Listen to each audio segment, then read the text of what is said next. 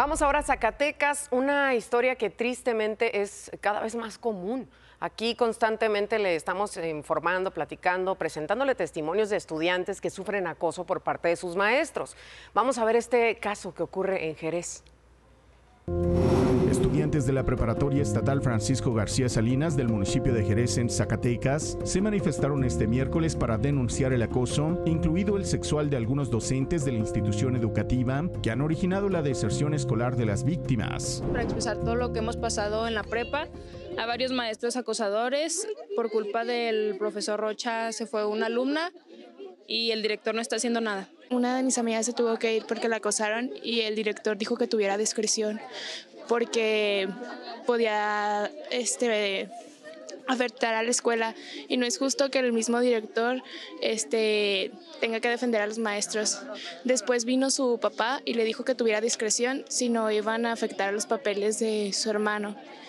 Y no es justo que tengamos que aguantar este acoso y solo porque el director no quiere que afecten a la escuela. ¿Qué mierda de director tenemos? A pesar de que las estudiantes señalaron que en múltiples ocasiones han hecho del conocimiento de estos comportamientos a las autoridades del plantel, el director se mostró sorprendido por las acusaciones, aunque aseguró que se daría la atención correspondiente. Tenemos la puerta abierta generalmente para que nos digan eh, si hay una situación de ese tipo, pues para hacerle el seguimiento. ¿La desconocía hasta el momento?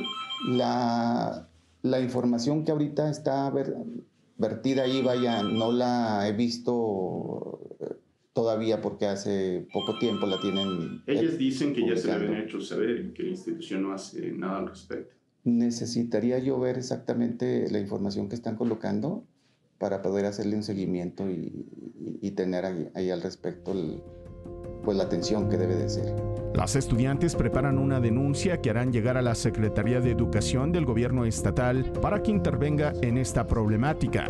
Porque pues ya son, son varias quejas y no, no han hecho nada al respecto, más que nada que hagan justicia y y pues sí, alzar la voz todas las niñas para que nos hagan caso y se pueda hacer un cambio en la prepa para estar mejor, las niñas, las mujeres, las maestras también. Esta protesta forma parte de las manifestaciones realizadas en el Estado con motivo de la conmemoración del Día Internacional de la Mujer, aunque las estudiantes indicaron que de no ser escuchadas, continuarían con la toma del plantel.